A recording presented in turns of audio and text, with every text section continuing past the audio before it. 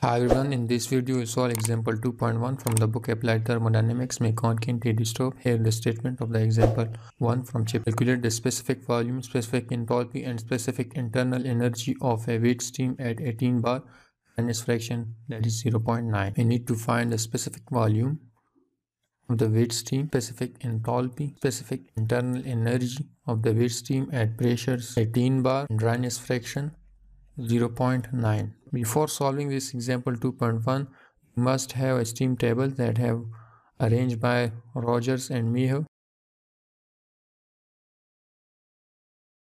Download this steam table, simply just search on the Google, you will get its PDF.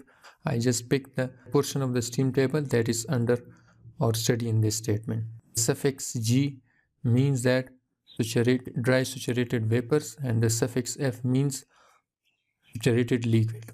Come to the solutions. At 18 bar pressure, you can see that the specific volume of saturated vapors is 0.1104 meter cube per kg. From this steam table, you just have to see this. Before taking the steam table, you must download it. Then the enthalpy, the saturated liquid is HF it is 885 kilojoule per kg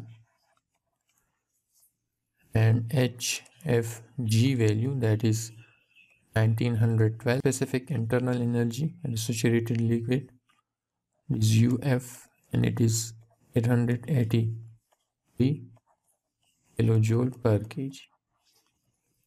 And UG value that is that is 25 198 kilojoule per kg. The specific volume of the wet steam is equal to x into kg that is x is given 0 0.9 meter cube per kg. The specific enthalpy of the wet steam is equal to hf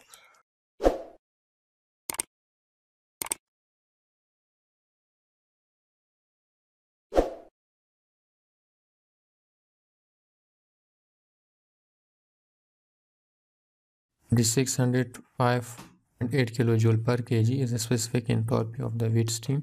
Answer second answers of this statement and then third one is to find the internal energy of the wet steam. This is equal to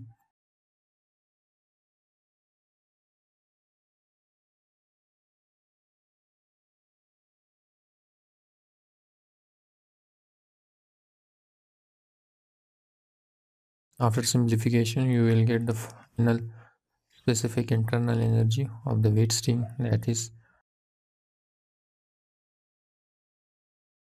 and this is all final answer of this statement.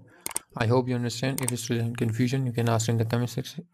Please subscribe my channel if you haven't subscribed. Thanks